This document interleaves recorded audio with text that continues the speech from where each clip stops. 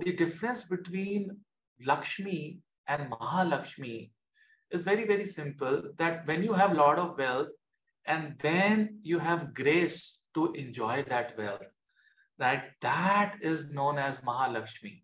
That means you have a family that obeys you, that love you. You have children, you know, who are deeply in love with you. You have a wife, you have a spouse, you know, who is concerned about you, right? And then you have an extremely good health. Now, when you combine all these things, when you win over your conversations, right? When you have a, a blessing of a guru in your life, right? That is Mahalakshmi. See, if you just have money and you don't have all these things around you, it is only Lakshmi. And this Lakshmi can be with a lot of people, but Mahalakshmi can be seen in the charts of very few people. After this particular workshop, you'll be able to understand to what extent you know you have Lakshmi in your life, to what extent you have Mahalakshmi you know in your life, to you know to what extent you have that love, that care, that good mindset. Because having a good mind is also Lakshmi, right? It is kind of a Lakshmi. To have that constant flow in your life you know, is also a Lakshmi. I've seen a lot of people during my consultations who, you know, give me a story that Guruji, you know, we were earning so much 10 years ago and we earned a lot. We had so many cars, we had so many, you know, flats and properties, but now, right, neither we have health nor we have that, um, you know, amount of money that we enjoyed and we are in huge amount of stress what does that mean? That means that somewhere the Kanakadhara Lakshmi is, is not present in your chart. You know, Kanakadhara is a, is a Lakshmi that gives you flow, that will give you a continuous flow in your life, right? So we have various categories, we have various planetary combinations, and the entire, you know, workshop will be around Jyotish. There is a nectar, Amrita, which is flowing from the Kalasha, the jars, and nourishes the rivers and the beings of the universe. She has four hands.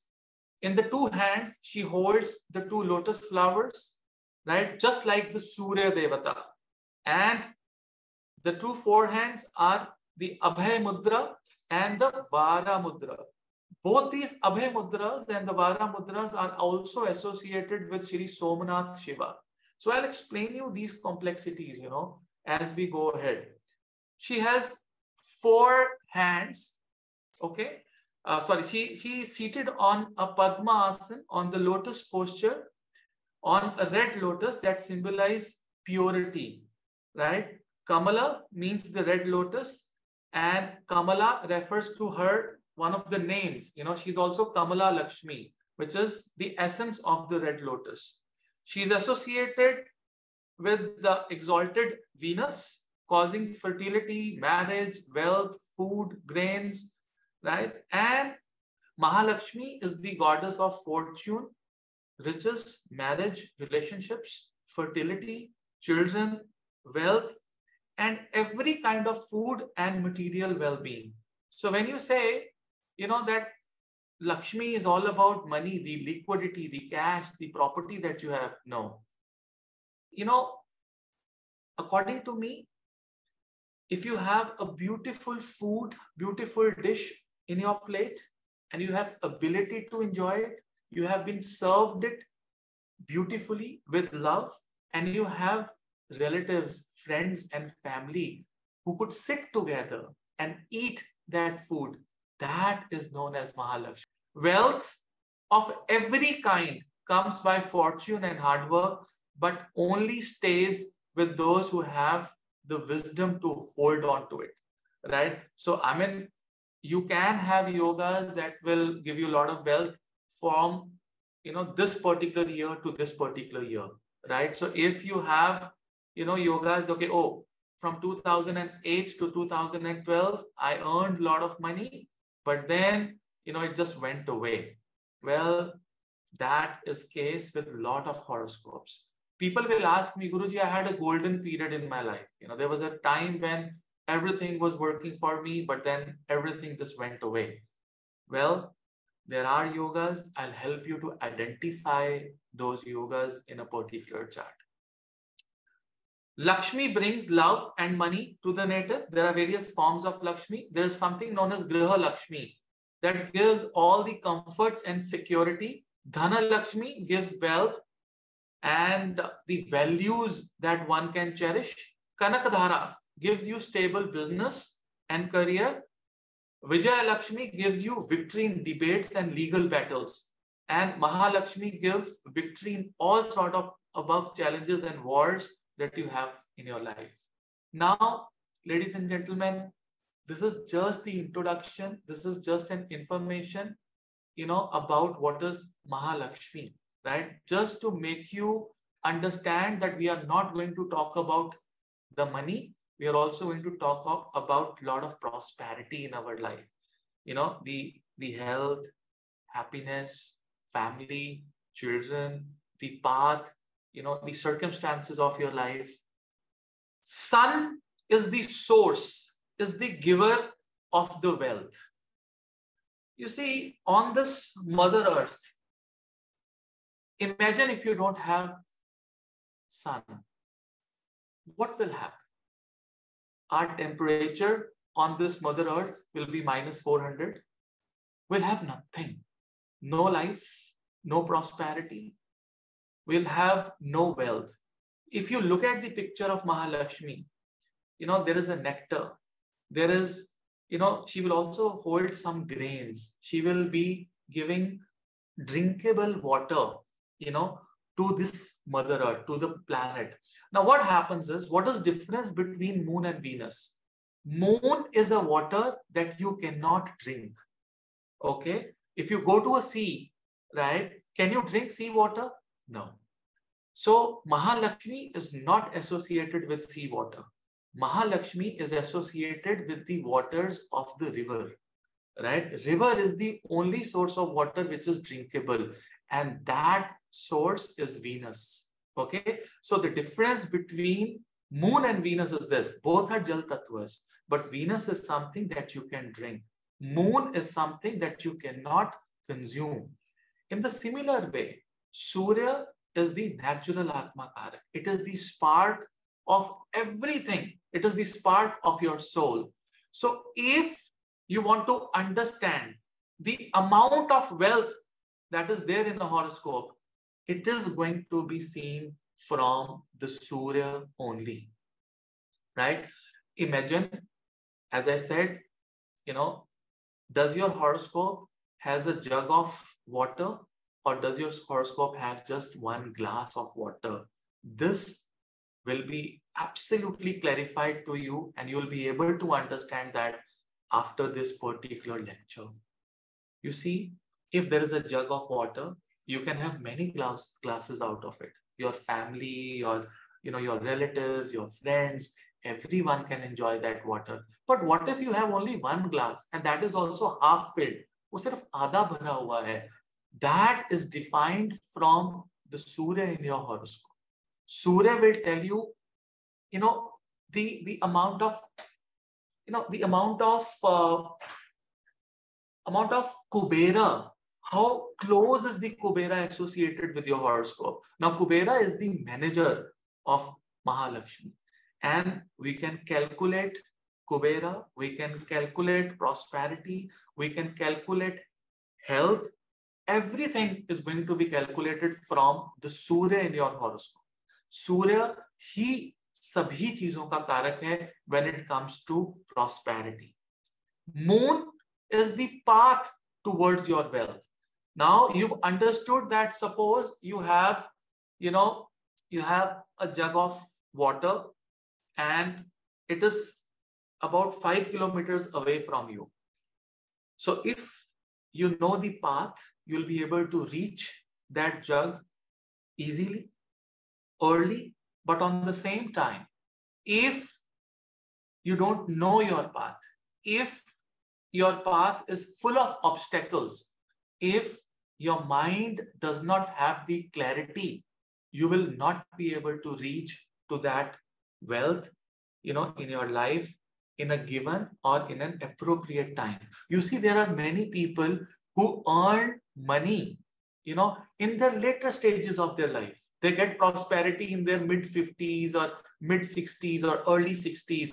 Whole life for first 40, 45 years, you know, these people are facing a lot of hurdles. You know, they're not able to have clarity in their mind. They will change their jobs, they'll change their businesses.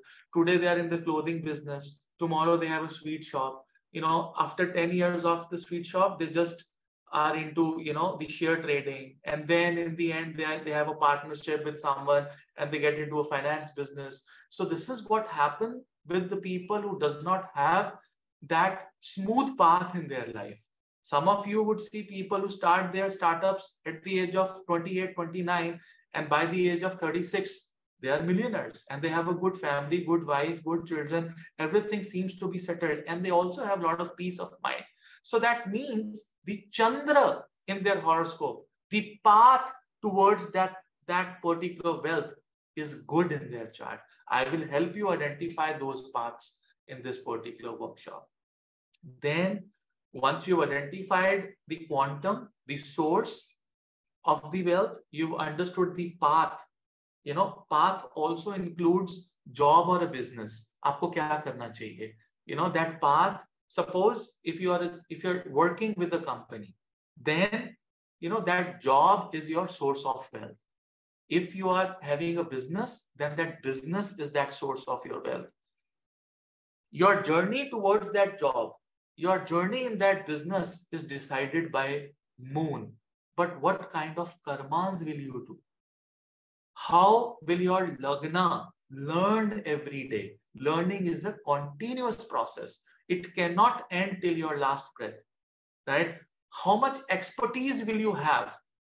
Will you have a very smooth karmic connection with your, you know, with your Chandra? Will you have a very smooth karmic connection with your Surya?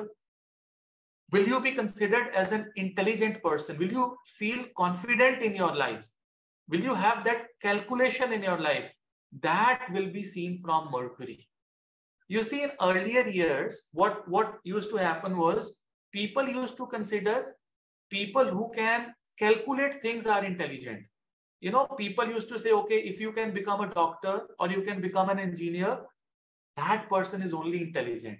If you are not good in mathematics or if you are not good in science, then you take humanities. Either you, you know, do your graduation in geography or you can do it in political science or history, and then you know you you choose a career accordingly. But i think that is very very wrong. That is not how you should calculate that how much intelligent you are and what will be your you know what what will be the range of your karmas. So will your karmas be productive? Will you have karmas you know that are unproductive? They are not giving anything to a job or a business is seen from the mercury. How well your lagna will behave how well your intelligence will behave, how well you know your expertise in this particular world, how well you will get that recognition because of your expertise is seen from the Mercury. So we'll, we'll understand certain yogas which are seen from the Mercury in your chart as well. And then the Jupiter is the final result. Jupiter is the wealth himself, right? So, so imagine you've identified the source, you've identified the path, You've identified the karmas that are associated to attain that Mahalakshmi, but then Jupiter doesn't allow you there. You know, you, you have, that is the case I was talking about, that you have money, but you don't have ability to enjoy. The money came, but that came for a very short span of time. It came for three years, four years, five years, but then it was gone.